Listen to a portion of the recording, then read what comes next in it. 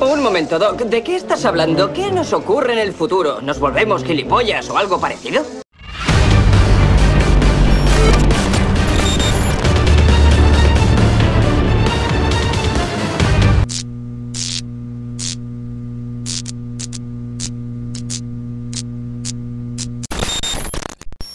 Muy buenas, futuros eh, consumidores de Soil Green. Bienvenidos a un nuevo vídeo y esta vez mm, voy a intentar contenerme o no sobre eh, lo que suelo hacer siempre, que es dar mi opinión eh, sobre las cosas. Y pues me ha saltado la chispa nada más ver una cosita que ahora mismo les voy a pasar yo a narrar. Bien, en la era digital la explotación de menores sexualizados y su exposición en redes sociales ha alcanzado niveles alarmantes.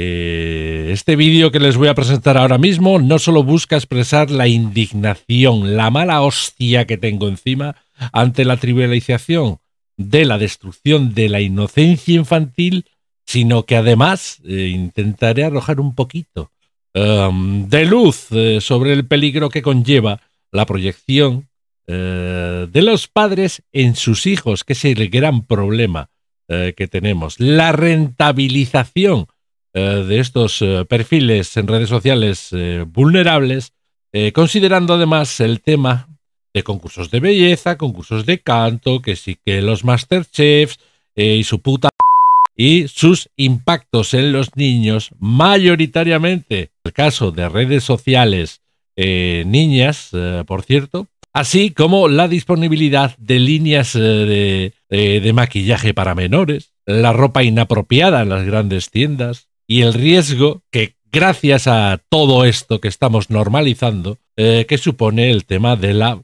pedofilia en Internet. Si me echan abajo el vídeo, lo siento, pero me niego a no llamar las cosas por su puto nombre. Bien, Después de ver atónito durante años eh, pues eh, los concursos de belleza en Estados Unidos y en otros sitios del mundo, pues bueno, perfiles en redes sociales como TikTok, Instagram y cosas así, protagonizadas por niñas pequeñas y a veces hasta muy pequeñas, vestidas como adultas a punto de entrar a un after, con millones de seguidores eh, y cómo no, cómo no, llegó la guinda, ¿no? Llegó la guinda, la gota que ha rebasado, eh, pues, el vaso de, entre comillas, mi escasa paciencia. Y es el reciente desfile de menores travestidos en lencería en Torrevieja, por cierto, eh, gobernado por el Partido Popular. Me pregunto yo, ¿en qué momento hemos normalizado esto? porque yo no he visto nada que se haya eh, que se haya dicho sobre esto. ¿Dónde están los feministas? ¿Dónde están el defensor del menor? ¿Dónde están aquí eh, los que se han vuelto locos eh, por, el, por el beso de, de, dos adultos, aunque no fuese consentido, que estuvimos tragando carros y carretas con la mierda del beso ese de la Jenny Hermoso y de su puta ¿Y, dónde está esto? ¿Dónde está esto? ¿Dónde están toda esta gente? ¿Dónde están los feministas? ¿Dónde están eh, los que protegen a la humanidad? ¿Dónde están? ¿Dónde cojones se quejan? Pues no lo he visto, salvo en, ciertos eh, sitios, eh, como siempre. Además, siempre en la fachosfera. ¿No? ¡Qué raro! ¿A que sí? De la cual yo me alegro de que cumplan los requisitos para ser fachosfera. Hola, si te está gustando el contenido que ves, por favor, agradecería un like, si te suscribes y le das a la campanita, ya sería increíble. Ni te cuento si comentas, muchas gracias por echarme una mano a crecer. Pero bueno, ¿qué cojones, qué cojones le pasa por la cabeza a los padres de estos niños? ¿Qué cojones le pasa por la cabeza a la gente que organiza esto? Pero bueno, claro, eh, ahora lo van a entender un poquito más adelante. ¿En serio hay gente que ve normal que en plena calle desfilen niños de 10 años travestidos en lencería con una banderita del lobby LGTBI su puta eh, puesto en la espalda? Repito, bajo la excusa de que es carnaval. ¿Alguien ve normal que los expongan a que cualquiera los grabe con el móvil como ha pasado? Eh, a sus propios hijos en lencería y a saber tú dónde cojones acaban esas imágenes Que ya les digo yo que esas imágenes, más de uno, de dos, de tres y de cuatro, estarán aplaudiendo. Con las putas orejas. Eh, por tener eso. Realmente, eh, los que han defendido o defienden de alguna manera esto, eh, permítanme decirles que ni son ustedes unos modernos, ni son unos adelantados a sus épocas, ni son unos tolerantes, eh, ni están moralmente por encima de nadie. Simplemente es que sois unos hijos que merecéis entrar a la cárcel pero en la zona de los comunes. Y que os quiten a vuestros hijos, a esos padres, que les quiten a sus hijos antes de que sea ya demasiado tarde, aunque lo dudo. La supuesta celebración de la inocencia infantil en desfiles a menudo se convierte en un acto de explotación, así de claro.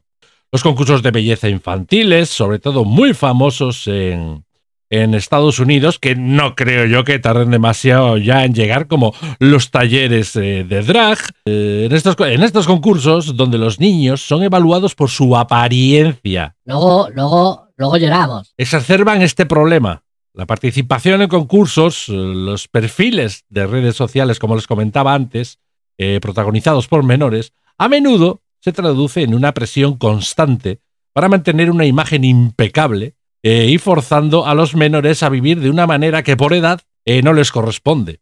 Sus papás los están robando su infancia y posiblemente su futuro y su salud mental. ¿Cómo hemos llegado al punto en que los niños son utilizados como accesorios eh, para la satisfacción de los adultos? La sociedad ve como normal que algunos padres conviertan a sus hijos e hijas en muñecos vivientes, con el que juegan, les visten, les desvisten, les hacen que hagan esta pose, esta otra, eh, mientras ellos eh, se lucran y proyectan sus frustraciones en ellos. Las redes sociales eh, agravan aún más el problema.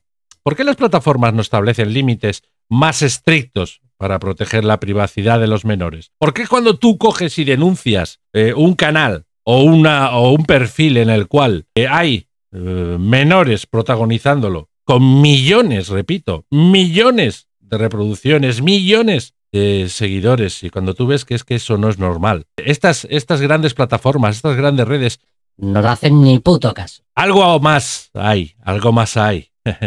La creación no autorizada de perfiles para menores es una violación flagrante de su privacidad, sobre todo contra la ley, eso está claro. Pero estas plataformas, como decía antes, miran hacia otro lado, ya que es una fuente muy importante de tráfico y por ende dinero. La información personal de los niños se convierte en una mercancía rentable para aquellos que buscan explotar eh, la imagen de los críos. ¿Cómo permitimos que esta práctica sin escrúpulos continúe sin regulaciones más estrictas? Es que habría que dar un golpe en la mesa. Habría que hacer algo, pero ¿saben lo que pasa? Que no interesa. No interesa. La proyección de los padres en sus hijos es un fenómeno muy preocupante. Esto no solo amenaza la privacidad de los niños, sino que también moldea la percepción que tienen de sí mismos y sus relaciones. Ojo, cuidado.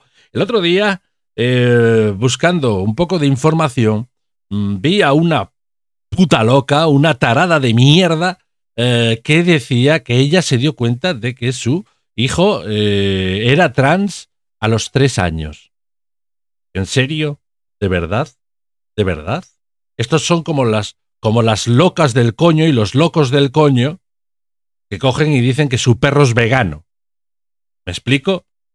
Estamos llegando a un momento en que, eh, y por ser suave, los enfermitos de los huevos campan a sus anchas y lo que es peor es que se les da voz y se les da poder.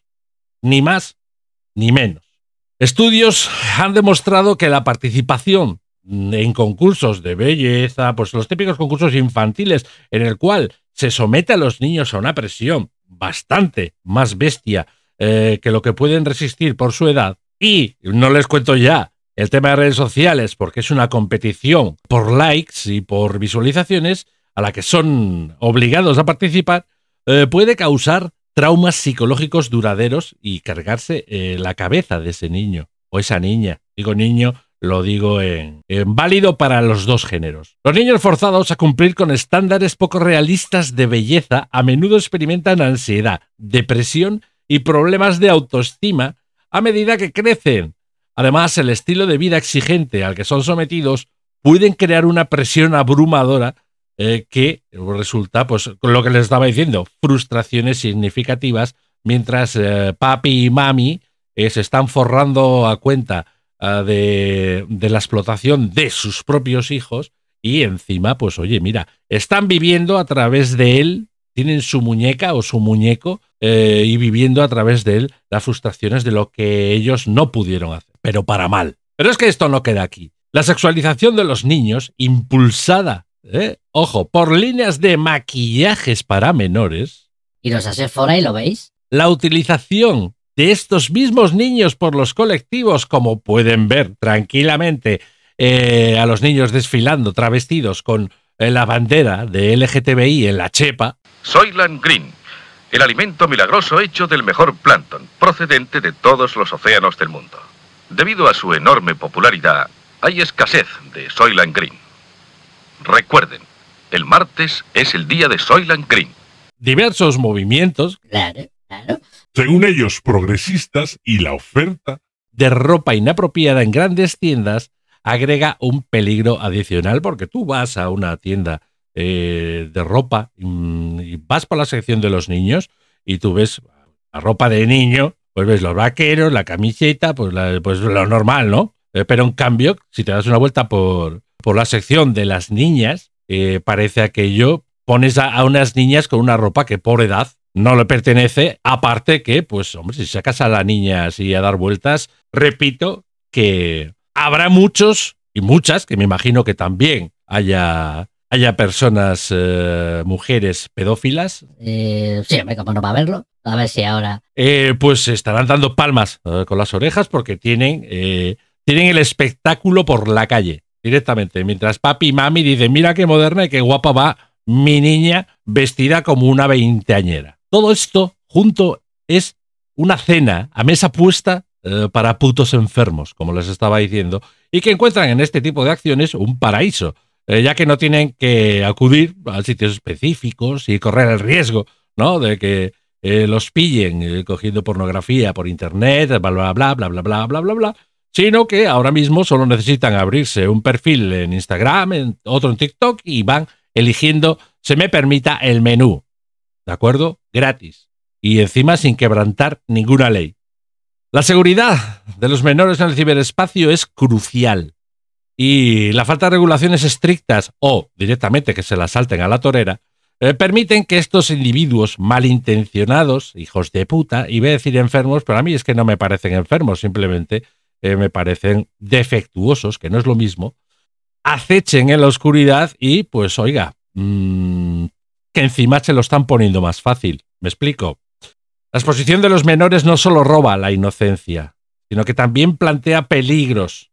Proteger a los niños de la proyección de los padres, la explotación, la rentabilización y los peligros adicionales es esencial para garantizar un entorno seguro y respetuoso para cada niño, lejos de los riesgos digitales y físicos que amenazan su crecimiento, su bienestar y su formación como persona.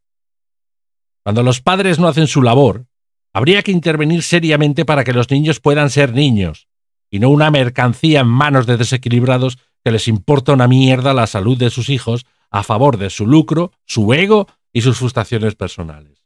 Señoras y señores, sí, esos que están logrando, normalizando y haciendo todo esto, son ustedes todos unos hijos de la gran puta.